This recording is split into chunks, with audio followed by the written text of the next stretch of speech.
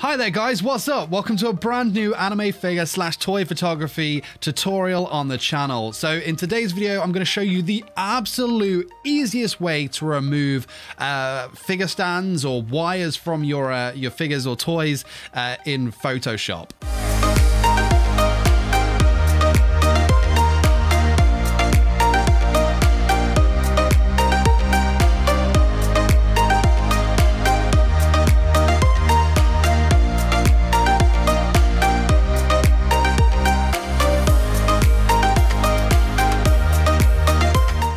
I'm thinking of doing a few more tutorials like this covering the absolute basics of toy and anime figure photography. So if there's anything that you'd like me to cover, I can't get my words out, let me know in the description below uh, and I'll get around to making them, you know, be it like basic setups, uh, basic uh, settings on your camera, uh, basic editing, you know, let, me know. I really want to start like a cool little series. So uh, I thought this would be a good way to start. So I recently took a photo of this Ichigo Kurosaki Nendoroid and I wanted to put him on this uh, background that like Hueco Mundo to get that really cool like anime looking scene. And i thought to myself as i was editing like hey i'm removing uh, the stand. I do this all the time. This would be a really really good place to start. Uh, especially with things like nendoroids uh, or if you're using any toys where you're using wires to create like an action like effect. Um, to make it look more lifelike and bring these figures to life, you're going to want to remove those stands so it looks less fake and more real, right? So I thought, hey, let's let's let's do this. So this is something you're going to be doing absolutely all of the time, especially when using these Nendoroids. So for the examples I've got today, I will be using uh, the the Nendoroids. Obviously, they have got these like thick, uh, white kind of like well, white clear clear stands, but uh, uh, any kind of wire that you can use to prop up toys or figures, like all these uh, all these techniques I'm about to show you, are going to be exactly exactly the same. So uh, first of all, uh, let's uh, set this figure up and uh, let's take the shot of Ichigo in Hueco Mundo.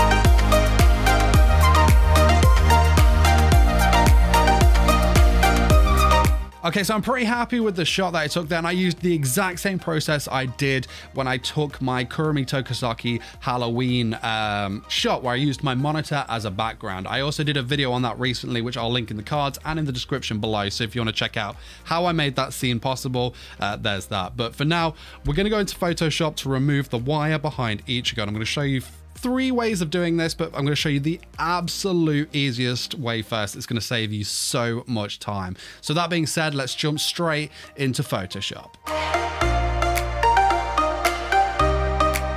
So this first method is the absolute easiest in my personal opinion in removing the stands. So you need to take two photos, one with the toy and figure in there, and then a separate one of just the background. However, there is a trick to doing this. So the first photo you take, you can use autofocus or manual focus. Make sure the uh, figure is in focus. Obviously that's the key point here. Take that shot. Then what you want to do is switch your camera over to manual focus if you haven't already. And to do that, just on this this lens over here, you'll see there's an AF and an MF, obviously autofocus, manual focus. So flip that down to manual focus. Remove the figure from the background and then take the same shot without touching the camera. So using a tripod for this one is also going to be preferable so you don't get any shake. Reason I say this is because of this third layer over here where I didn't shoot in manual focus. What happens is, is that the whole perspective changes. Now, if I remove Ichigo, uh, look at the moon as an example of this. So if I remove Ichigo, you'll see the moon changes. So the background is changed because I didn't keep my focus exactly the same. So if we try removing anything in here, the whole, look at this whole background over here, that's going to shift upwards and it's, it's just not going to look right. So this bottom layer here, we don't need it. Get rid of it. So yeah really important to do that. I hope that made sense. So take one photo with the figure in there. Make sure it's all in focus. And then don't touch anything at all. Remove the figure and then take the same shot again with the background there. So it's going to match exactly. So it's the same amount of bokeh that blur in the background and everything. It's going to make it so much easier. Right back to photoshop. So what we're going to do in order to remove this over here you can do two things really. You can use the uh, eraser tool uh, making sure that you're on the first image and you can start uh, erasing like so and obviously we're getting rid of that stand. And because we've got that background underneath, you can now see why it's important that we kept everything the same as the background in the shot with the figure in it. So it just removes it seamlessly. Now, the other way of doing this is using a mask, which is a lot less destructive. So what we're gonna do is click this little button down here. It adds a mask. Make sure you're on the layer with the figure. Okay, so we're going to use a brush now. So bring the brush size up a bit. Keep the hardness down. Probably bring it up a little bit more. That's right. So we've got a white and black over here. If we use a black brush, it's going to erase. And if we use the white brush, it's going to paint everything back on. So remember, black removes and white brings stuff back, if that makes sense. So using the black brush over here, we probably want to zoom in as well. Zoom in down here and then, because our brush isn't as hard, it makes it a lot easier when we get closer to the figure. Making sure that we don't erase him. However if we accidentally whoop we do that not a problem. Go back to your white paint him back in. So the key here is zooming in and zooming in adjusting your brush size as well so you can get nice and close close as you can to the figure without erasing the figure. But like I said, if you do erase the figure, white brush, and uh, you're back in the game. here we go. Just going to go around Ichigo here. Remove as much as that white as we can.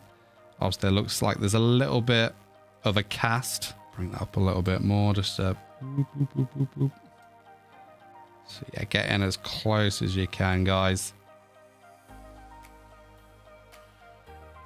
There we go. Perfect. And if we zoom out, it took me a while doing that. Oh God, I like. Yeah, so if we zoom out like so, there, there we go. The, the, the stand is completely removed.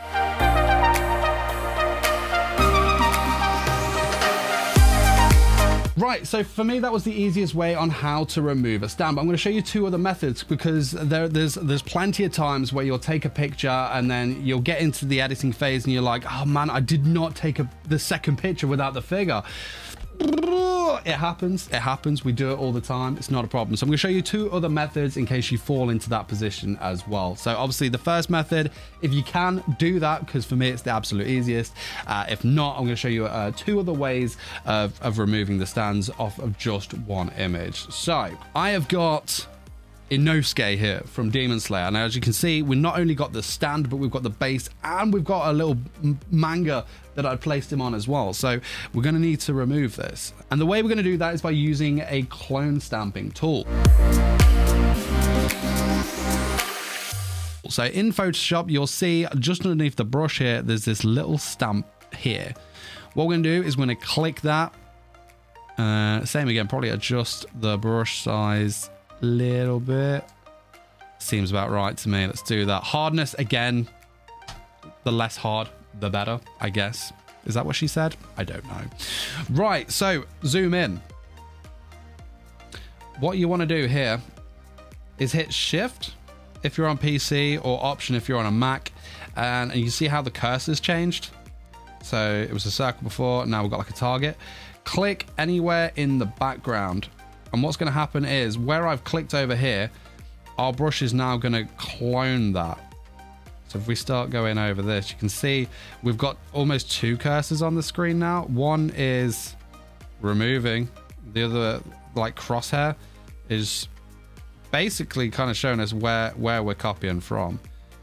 Obviously, we want to get in a little closer when we're going around an Inosuke here, but this is just a quick example. Obviously, when you're doing this yourself, you take as long as you need to take. But for the uh, the purpose of this tutorial, I'm just going to speed through it. So there we go. There's the stand removed there. Now we need to get rid of this, uh, the book and the other stand. So same again, just hold Option or uh, Shift if you're on a PC. Click, and then we're going to start painting away. Look at that. Photoshop magic at its absolute best here. Look at this. It never even existed. Absolute magic. Scenes. you have to see it. Now option clicks. make sure you're getting that, that black there. There we go. Painting some of this foliage probably. There we go, look at that. Black space, no more. And if we zoom out, Bob's your uncle. Obviously, we've got this little bit of a stand over here. Not a problem. Probably reduce the brush for this one. Click. Probably get some of that white, actually. That was quite nice. There we go. Absolute magic. Nice and easy. Baby steps, people. Baby steps. There we go. Like I say, I'm, I am rushing this for the sake of the tutorial. So you can take more time, zoom in, zoom out and whatnot. But as you can see, clone stamping is fantastic. Look at that. Beast. You'd never know. Photoshop magic.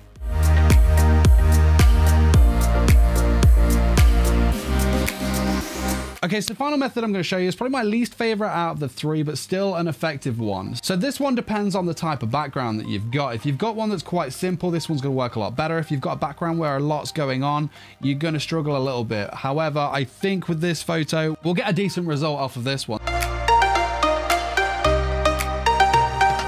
back into Photoshop, we're going to use Inosuke again. Right, so what we want to do is we want to use the lasso tool here. So click that.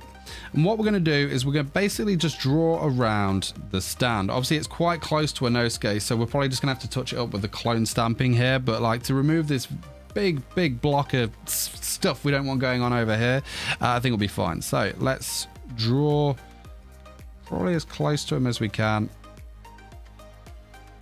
There we go. Basically, you click, draw, and then when you've met up here, just release and it's going to create these little like white ants and this little trail. So basically everything we're doing in terms of the content aware, uh, it's only going to affect the area that is within these little white walking ants. So once that is selected, what we're going to do is we're going to hit edit and then we're going to go down to content aware fill. Click that and Photoshop's going to bring up this little menu over here. So all this green stuff, what is it? The green stuff is basically what Photoshop is going to draw from uh, and in terms of filling in what we've selected. As you can see, we've got some green on Inosuke uh, and we don't really want to duplicate any of Inosuke's body parts over here. We basically want to try and just get this darker like blurry meshy part of the forest so just paint over what we don't want so just paint around Inosuke. We don't want any of him. there we go. Get off the sword as well. We'll probably get rid of uh, the tree over here as well because it's just the mesh. Is it mesh or marsh at the bottom that we want? We don't want any of those harsh blue lights that's coming through the trees. So that looks pretty good. Right, so once that's done, hit OK or apply. And boom. There we go. Obviously, you can see there's some harsh lines here. So we, like I said, we can go back in with the clone stamp and just get rid of that harsh line that's around here. Just around his foot as well. Little touch-ups, little touch-ups. If we zoom out, that's a lot better. Boom.